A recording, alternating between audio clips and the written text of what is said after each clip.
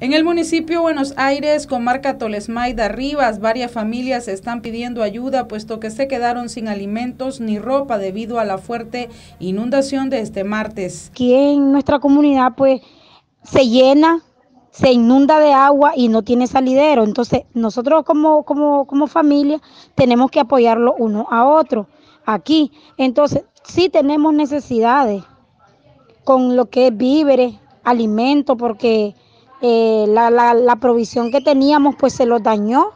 A través de que nosotros estábamos dormidos, no esperábamos este, este, este, este fenómeno que hubo.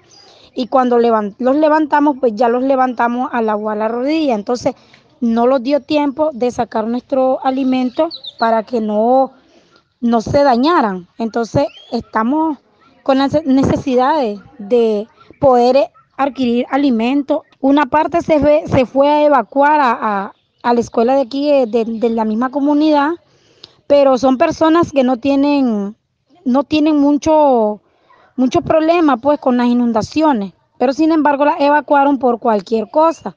Entonces, como nosotros somos opositores al gobierno, pues a nosotros no nos han brindado ninguna ayuda.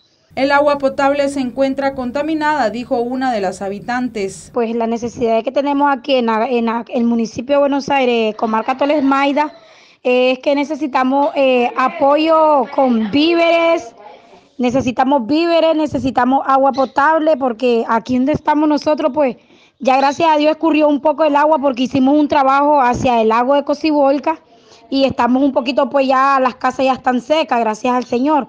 Pero sí necesitamos víveres, necesitamos lo que es cosa básica, papel higiénico, todas esas cosas, porque perdimos pues muchas cosas, las provisiones, el arroz, el ofregón, de, se mojó porque estábamos dormidos y cuando miramos que ya estábamos al agua a la rodilla, entonces ya no pudimos capear lo que es granos básicos, no pudimos capear, estamos sin alimentos.